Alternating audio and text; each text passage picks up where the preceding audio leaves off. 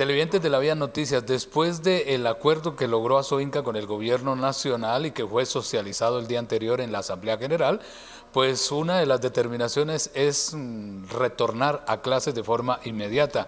El presidente de Azoinca, Fernando Vargas, pues nos va a entregar los detalles a continuación, cómo se regresa a clases, también el calendario y la recuperación de los días, pues no sé si decirlo, perdidos, de qué forma se recupera. Bienvenido, profesor Fernando Vargas.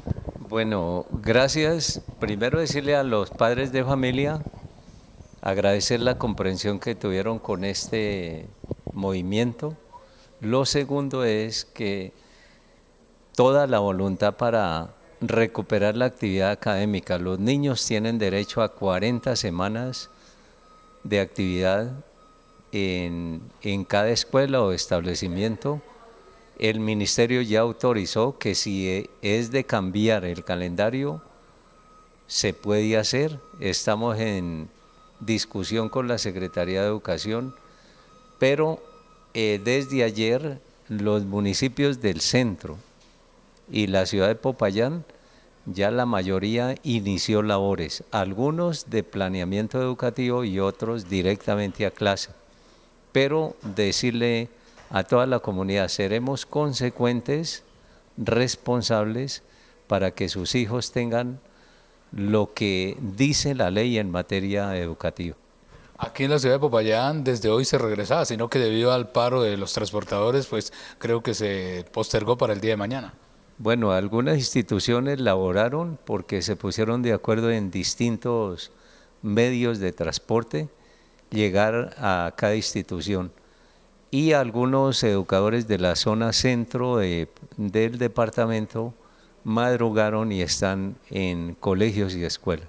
Entendido, profesor Fernando Vargas, el retorno a clases es ya, de esta forma, y la recuperación la van a estar ustedes informando de acuerdo a lo que se dialogue con secretarías de educación para modificar el calendario.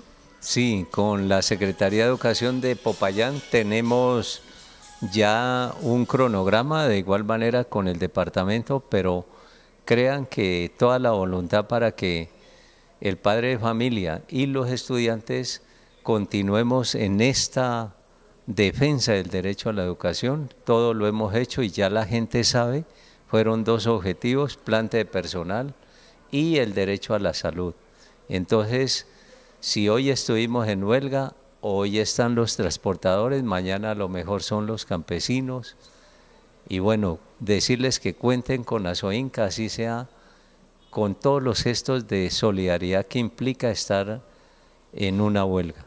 Y buena comunicación que ha habido sobre todo, ¿verdad?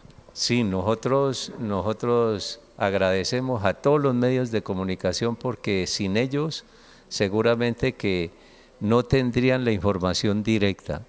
Eh, de todas maneras, nosotros como organización sindical hemos dejado en alto no solo al gremio, sino al Cauca, porque hay un debate enorme e interesante en todo el país sobre cómo debe ser realmente el derecho a la salud para los colombianos.